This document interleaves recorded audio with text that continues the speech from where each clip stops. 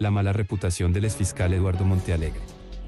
En la audiencia de acusación contra Uribe, el expresidente pidió la palabra para rechazar la vinculación como víctima del exfiscal Eduardo Montealegre, quien insistió en un daño reputacional a lo largo de este caso.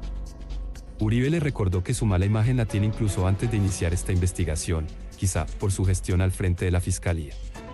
Por eso, dijo que no pueden achacarle esa mala reputación, Además, esta semana se confirmó que el fiscal que acusa a Uribe, Gilberto Iván Villarreal Pava, fue nombrado director seccional de Fiscalías de San Gil, Santander, por Montealegre, quien luego lo promovió como fiscal delegado ante la Sala Penal del Tribunal Superior del Distrito Judicial de Bucaramanga.